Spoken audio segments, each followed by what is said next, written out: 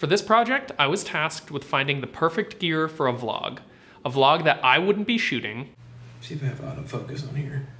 For a person who's never shot a vlog before. All right. And a person whose only rule on set is don't touch that gear.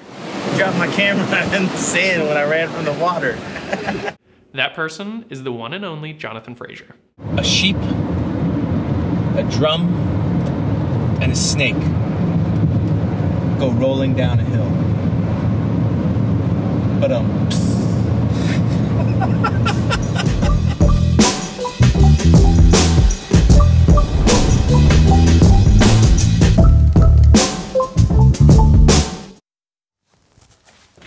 Hey filmmakers, Jonathan with Soundstripe here. Today we're gonna hit the road, gonna figure out what it takes to make a good travel vlog. Or a not so good one. Let's find out.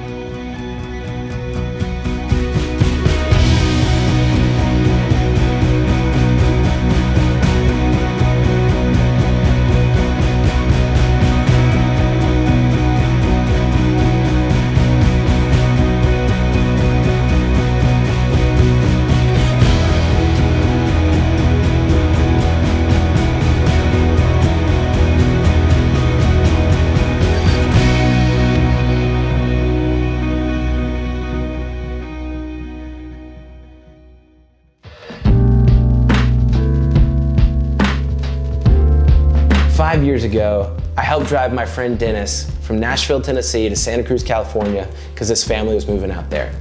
A couple months ago, he called me up and said, hey, we're moving again, this time from Santa Cruz to Atlanta, Georgia. You wanna come? Naturally, I said, heck yes.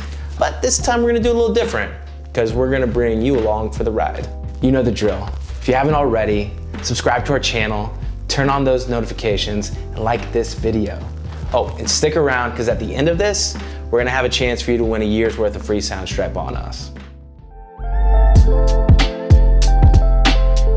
So in order to make this trip a bit more exciting, if you will, my team decided it would be best if they didn't tell me what gear they were sending me for this little adventure. The Sony a7S III, a couple lenses, a Rode lapel mic, DJI Ronin SC2, the DJI FPV drone. Uh, and then I also picked up the DJI OM4 and then a little Belkin car mount thing with the new MagSafe, which was wonderful decision. My biggest takeaway from this whole experience when it came to gear was convenience is king. This right here, with this guy right here, oh, Go with what you're comfortable with and what's convenient.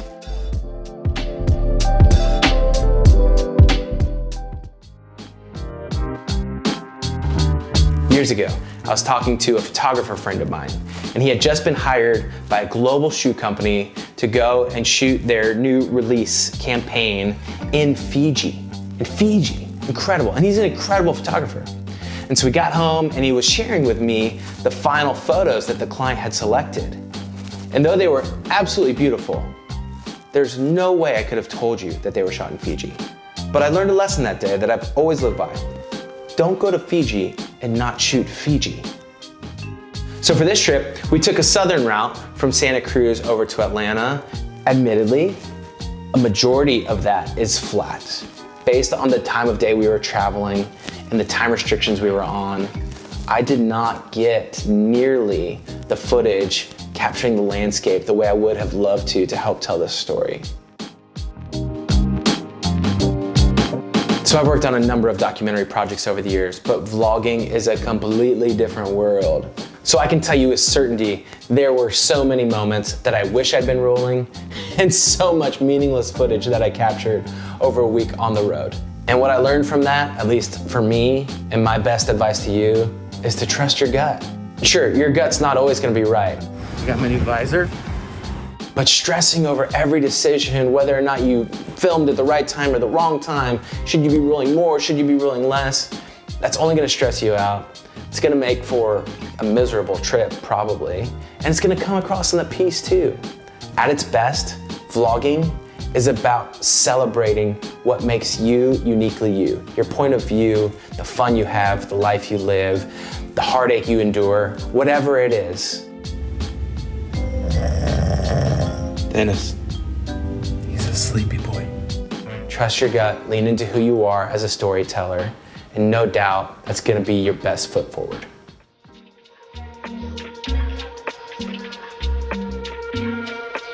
Clearly, I work for Soundstripe, so I'm a bit biased on the power of a good track in a video.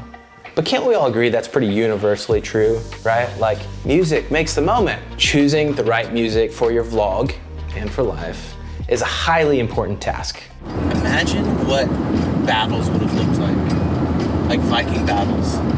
If they would have been like putting their AirPods in and they had like this epic music. That is funny. This trip in particular was about two friends who hadn't had the chance to see each other in a while. We're going on a road trip and trying to have some fun along the way.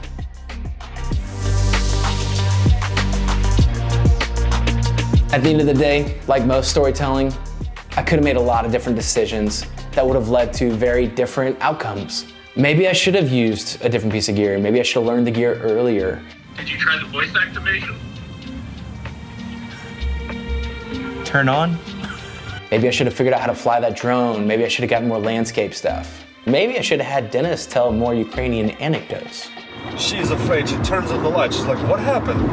And he says, "Who? I thought my eyes blew up." And ultimately, I'm okay with that.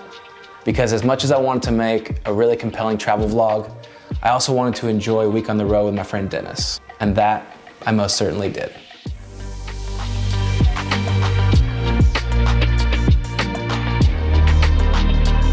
We did it.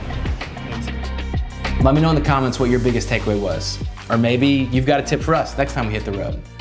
We're gonna pick one person from those comments and we're gonna give them a free year of. Thanks for watching. See you next time.